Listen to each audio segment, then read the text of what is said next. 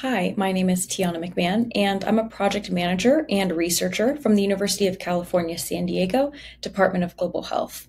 And I recently published a paper, Detection and Characterization of Online Substance Use Discussion Among Gamers, a retrospective analysis of Reddit r Stop Gaming data in the Journal of Medical Research Infodemiology. In our paper, we explored the intersection between gaming, substance use, and potential physical and mental health impacts.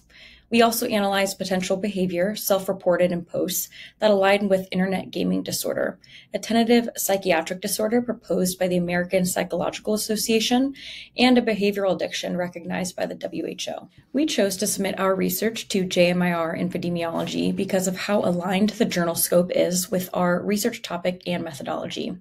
Again, we analyzed social media data, specifically Reddit, which is a popular social media channel with niche communities. We analyzed potential health impacts, substance use, and self reported disordered gaming behavior associated with gaming.